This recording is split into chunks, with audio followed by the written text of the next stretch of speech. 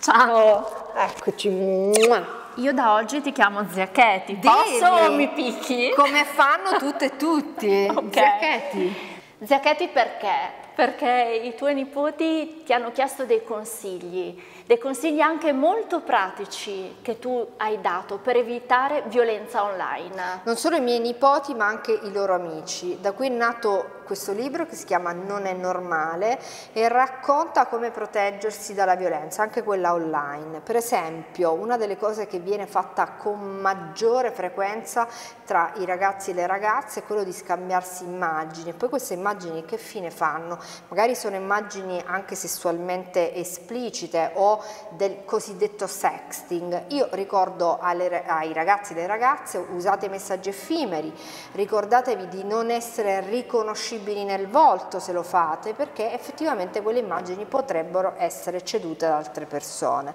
E poi ricordo anche un'altra cosa che se siete vittima di quello che si chiama revenge porn o se finite in uno di questi gruppi tele, telegram in cui avviene di tutto, anche degli stupri, degli abusi sessuali per immagini, potete rivolgervi anche se non potete farlo ai vostri genitori perché magari vi vergognate, c'è una procedura che eh, si può scaricare sul sito del garante della privacy oppure potete rivolgervi a un'associazione che si chiama Permesso Negato eh, e eh, anonimamente vi aiuterà, anche se siete minorenni. Questo è molto importante, permesso negato ragazzi, ricordatevelo.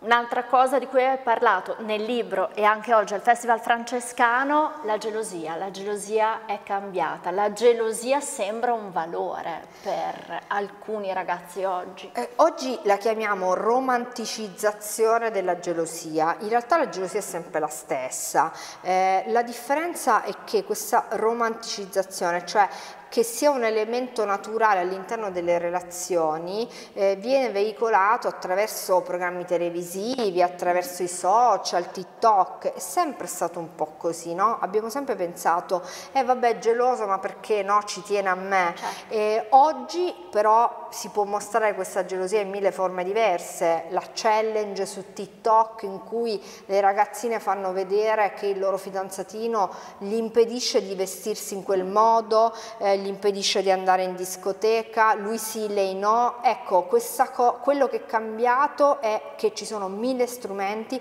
per raccontare questa gelosia che in realtà non è gelosia, è violenza.